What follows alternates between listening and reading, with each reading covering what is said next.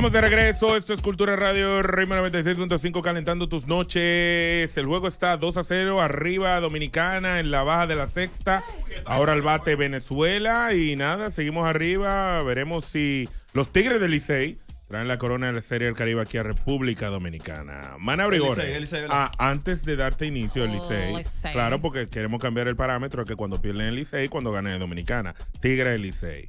Así que nada, Eso antes de darle la palabra a Manauri y darle la bienvenida a una invitada especial que pasó por aquí a saludarnos y va a participar en este segmento, La Chanti. ¡Eso! Esa sorpresa, tú por aquí. Dios mío, es que hace ya unos meses tenía estipulado venir a disfrutar de este show en vivo y también a desestresarme, porque es muy fuerte lo que ocurre aquí. Es verdad, tú no has escuchado antes. Sí, claro. ¿Has escuchado este programa? Sí, ustedes son demasiado candela. Mm, mm, ¿Te imaginas? Ustedes ahí? son candela que cuidado que te queman. Ay, viene- y venimos con preguntas para ti. Chanti al desnudo. ¿Cómo? Mm. Está buena esa, está buena esa.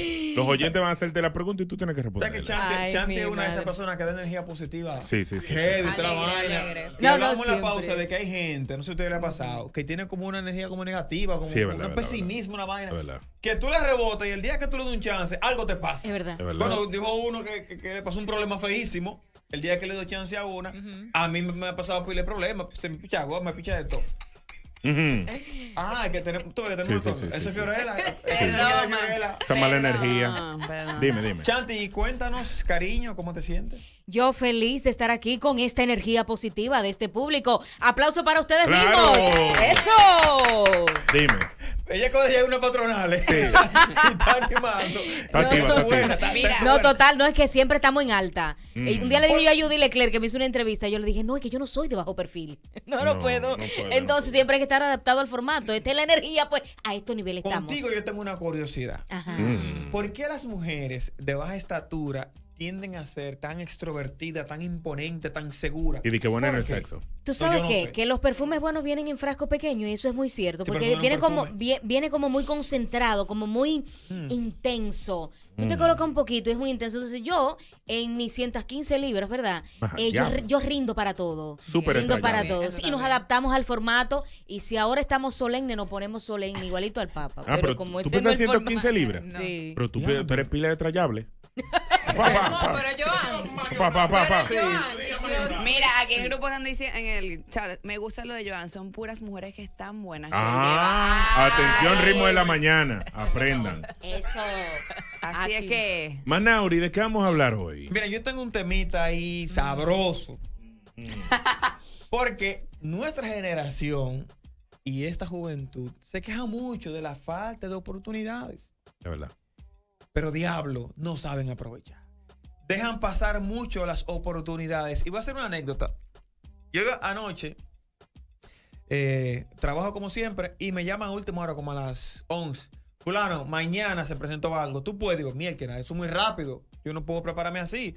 Ah, bueno, pues hablamos después. Yo lo pensé como cinco minutos, pero acá, fulano, ¿qué que tú estás ahí que jodiendo? ¿Tú no bregas? ¿Por qué para qué tú estás ahí? Uno se autoterapia, digo, llame para atrás. Ey, mañana yo estoy a las 7 de la mañana ahí. Arranca. Llega. Llegué y resolví como un tolete.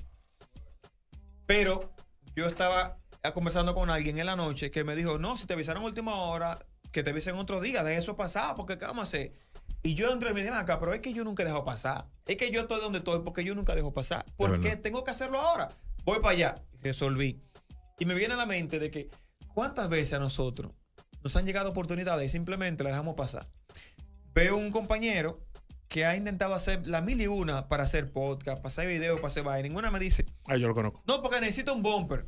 Digo, el problema del bumper, dame el logo, ven. Le hago el bumper y brega. No sale el programa. No, porque necesito un estudio. Digo, el problema del estudio, ven, vamos a buscar. Ahí está, ahí está, ahí está Lazo Films. No, porque necesito invitados. Digo, toma una cartera de invitados, recia. Y graba. Con- graba, tiene todo. Digo, ¿y por qué no he tirado la vaina?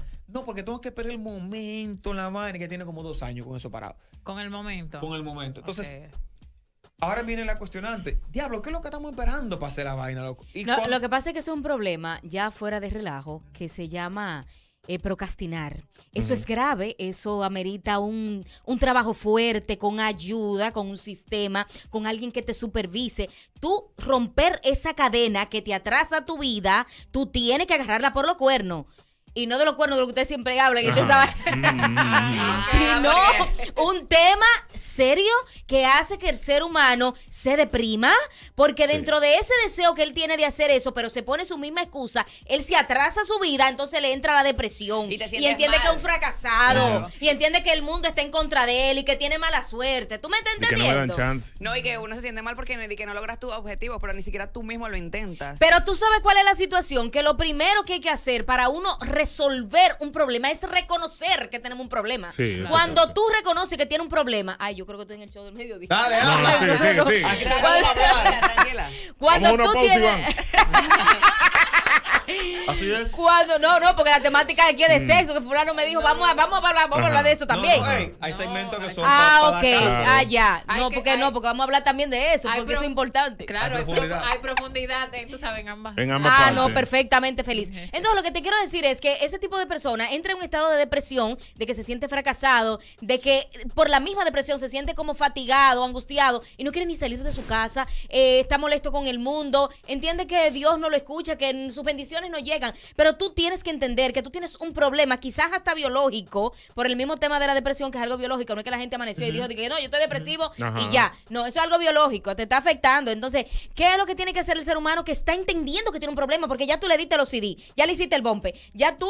¿Qué más Le diste hiciste? el estudio, le diste el diste tú le diste editor. todas las facilidades, pero eso no solamente pasa con ese proyecto que tiene para la televisión, pasa con todo en su Sí. vida.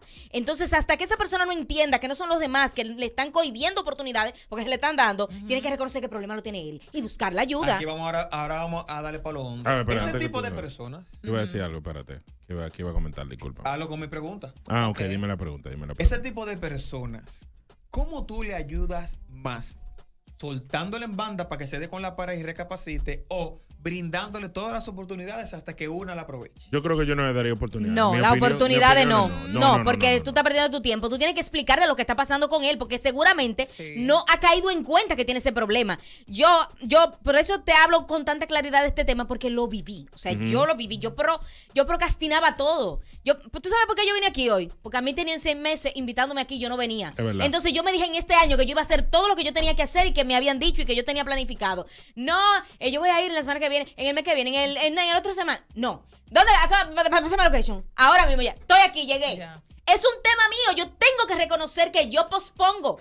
Entonces, si yo llegué al programa más importante del país, que es el show de medio, ok, está bien, feliz. Pero hay más cosas que hacer. Y yo no puedo quedarme ahí tranquila. Y si yo estoy aquí, tu todo el mundo me de conoce, tengo casa propia, tengo jipeta propia, me voy a quedar aquí, la vida se acabó, estoy bien, estoy linda, todo está bien. No, no está bien. Hay que seguir. hay que seguir. El mundo hay que seguir. No, no, no, mira, el punto que ella dice, yo me siento identificado. Porque mira, óyeme, Hay que seguir. hay que seguir porque, óyeme, hay mucha gente que se acomoda y voy, voy por parte. Eso que tiene ese amigo tuyo, por ejemplo, o quizás muchas personas que nos están escuchando, a mí me pasó, pero no en el sentido de nunca presentarlo, sino de buscar la perfección. Cuando tú te trancas en buscar la perfección, y más en la creación de Eso contenido, por ejemplo, yo. tú nunca lanzar nada. Yo era así. Yo no ponía un video porque, coño, le falta una vaina. Coño, no, espérate, dame. Ya yo estoy que yo publico lo que sea. ¿Por qué? Porque tú crees que eso va a ser un tollo y cuando tú lo publicas es lo que rompe. O sea, la cosa que yo le he dedicado tanto empeño. Lo más orgánico. tanto trabajo. De que esto va a romper porque yo me dediqué un tollo. Ahora, lo menos que yo le dedico, que simplemente pongo el contenido y ya, funciona. Entonces, tú trancarte en cualquier proyecto que tú tienes de vida, tú no puedes quedarte esperando de que, espérate, déjame esperar eh, el color azul, porque me falta, el- tíralo sin el azul. El próximo, Ya. tú lo tiras con el azul cuando llegue. Porque si te quedas esperando, te va a chochar y nunca vas a hacer nada. Y lo que ella dice de seguir avanzando, muchas veces nos acomodamos. Nos acomodamos en que coroné. Por ejemplo, aquí la gente dice, bueno, yo están en radio, coronan. Mentira del diablo, yo sigo buscándome por todos los lados. Por Porque nada es para siempre. Recuerda eso. Tú eres gerente en un sitio, estás ganando la moña, tienes 5, 10, 20 años ahí. Y tú crees que Sí, nadie te va a votar y esto va a te lo meta. Mentira, mañana viene, viene una pandemia, una vaina, te votan, llega un jefe nuevo. Y se acabó y tú te quedas. Te tienes que nada. reinventar, porque nosotros estamos, ¿verdad?, en este mundo, pero el mundo vive en constante movimiento. ¿Y quiénes somos nosotros para quedarnos estáticos? Exactamente. ¿Quiénes somos nosotros? De que ya llegamos, mire, usted está loco. No, hay que Fíjate, te seguir. una cosa. Hay que revisar. Ella está chiste, en fuera de Bordeaux, chiste. ella está en Bordeaux. Chanti, tú en 30 segundos has hablado más que lo que hemos hablado todos nosotros en 10 días. Está bien, me Mira, gustó, me gustó. entonces- Dime. Pero contenido valioso. que- Claro. Claro, eso, ey, te felicito. Total. Eso se llama aprovechar la oportunidad. No, yo soy René, residente calle 13. Tú me eso. Mm, dímelo. Mira, también una cosa, uno, dos. También una cosa importante es, como lo que tú mencionaste, Joan, que muchos buscamos la perfección, que no existe. Que no Obviamente no existe, pero también eso viene de la comparación con el otro. Sí. Porque que- queremos ver el resultado de los demás, pero no analizamos su proceso. No es que tú tienes que vivir lo mismo, claro está, porque cada quien vive sus cosas. Pero tú tienes que fijarte que cuando grandes empresas comenzaron no tenían nada. Cuando un youtuber empezó, no tenía una cámara profesional. Quizás Exacto. hizo el video normal, 50 cosas sobre mí. Hola, mi nombre es Amaile. Y ahí empezó. Y ese fue su primer video con un celular. No hay nada perfecto porque siempre habrá algo que no está bien, que al otro no le va a gustar. Frente a los ojos de los demás, nada es perfecto. Eso es cierto. Entonces, ¿por qué tú te tienes que matar por eso? Eso es y no hay un momento idóneo para nada. El momento idóneo es cuando tú lo lances y punto. De verdad. Y que Ahora- tiene que dar el primer paso, porque la, Claro. la costumbre es lo que hace la excelencia, Sí, llanamente. ¿Qué te voy a decir, Fiorella? Yo no sé. para, para mí, para mí, Dime. Para mí sería un placer discutir con ella. Ah, no, no, está bien. Mira, Ella me ganaría, pero sería. te voy a poner dos. Este programa es el final. Después que salga de presentar en la Lotería Nacional, puedo venir para acá. Pero claro. Te voy a poner dos ejemplos. Ajá. Las hermanas CDN con un telefonito Ya. andaron el país entero. Ujú. Ya se apagaron, pero en su momento hicieron mucho ruido. Sí. Ahora está mis amores. Sí. Que con un Estamos, telefonito mis se amores, haciendo ejercicio y vaina. Es con un telefonito un maquito. Sí. Tú no necesitas la gran, como decía Somaili, como tú bien decías, la gran producción, la gran vaina. Porque realmente donde hay contenido, tú lo notas. Donde Sí. hay una idea buena, tú lo notas. Sí. Lo que pasa es que, como tú dices, hay gente que espera que se alineen los planetas. Que Sí. lleva Que baje la cámara de que, o sea, tantas cosas que al final terminan haciendo absolutamente nada. Nada. Y yo estoy seguro que los que estamos aquí en algún momento fuimos también procrastinadores, pero decidimos romper el molde y decir, espérate, Claro, hay que echar para el adelante. momento. Si Sí. no, no hubiese forma. Tienen que bueno, Eri- Eri es un buen ejemplo, porque Sí. Eri estaba tranquilo en otro trabajo. Sí. Le llegó una oportunidad y dijo, espérate, que aquí es. Aprovechó. Aquí es. Él está más forzado, pero él sabe que está buscando una meta. Entonces, mi recomendación es para esta generación y todas, no dejemos pasar oportunidades, porque son muy pocas las que hay para esta juventud. Eso es cierto. Y si dejamos pasar, es muy probable que no, que no aparezca otra. Yo, de mi parte, yo no dejo pasar una.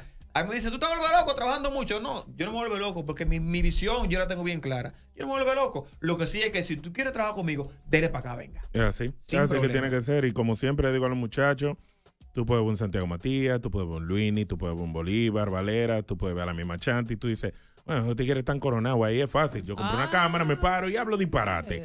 Eso no es tan fácil como parece. Y más cuando tú creas contenido, trabajas en los medios de comunicación, radio y televisión. No es tan fácil como se ve. Es bueno ver el éxito y decir, wow, lo lograron, tienen mucho cuarto. Porque los jóvenes de estos tiempos se enfocan en el dinero, el en lo que ese tigre se está buscando, pero no se da cuenta de que quizás fulano celebró 12 años en, lo- en los medios, No miran el celebró proceso. 16 años, no No vieron el proceso. proceso. Dice, yo tengo 12 años haciendo videos de YouTube. Son 12 años y tú lo que tienes 4 meses y ya está cansado. Tú sabes la cantidad. Nosotros empezamos con podcast en la pandemia, Claro. antes de hacer todo el contenido que hacíamos antes. Empezamos con podcast y ahí fue que hizo el boom de podcast. Y ahí salieron 500 podcasts. Y hay gente que dice, no, todos los días salen un podcast. Sí. Y yo lo dije en Twitter los otros días que tenía un debate con Mata Lluvia y Mañón. Dije, cuando el podcast llegue a 100 episodios, yo te tomo en serio. Mientras tanto, todo el mundo puede hacer un podcast. Eso no lo hace especial, es la consistencia. Porque cuando tú, tú puedes ir a un estudio y grabar lo que te da tu gana. Tú puedes ir a una cámara y grabar un video hoy y el de la semana que viene. Y el de la semana que viene. Y el de la semana que viene. No nada más grabar eh, qué idea tú vas a Ahí- presentar que va a ser diferente. Ahí yo se la doy a Doctape, porque ellos realmente han podido mantenerse. Le han bajado un poquito, pero han podido mantenerse. Claro. Y por lo menos con el caso de la mesa, le han dado Claro. larga. O sea, han seguido grabando. Pero, como tú bien señalas, no es tan fácil No. trabajar en esto de medio. Bueno, mira la Chanti. La Chanti está en el show de mediodía. Está en la lotería. Está en maestría de ceremonia. Toda la vaina que, la- que, la- que le tiren, ella va. Ahora, Chanti tiene una cosa que quizá otros no tienen. Ella tiene preparación. Claro. No hay forma de tú aprovechar una oportunidad si tú Sí, no estás no está preparada. No, el caso de ella, ella lo está preparada. Ella cogió ese micrófono y como que tú, como que tú No, Sí, yo tengo sí. 15 años trabajando aquí. Toma ahí. no lo deja Toma hablar ahí. ninguno.